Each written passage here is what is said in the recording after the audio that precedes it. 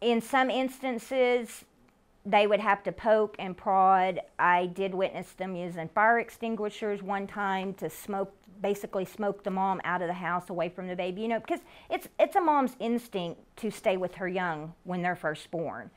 So you know, you got sticks, you got him firing guns up in the air for the noise. Uh, if they could get the mom out of the house with the babies, and but they couldn't get her in the lockdown pen, you know, they would they would dart her to um, to put her to sleep so that you could go in there and get the cubs.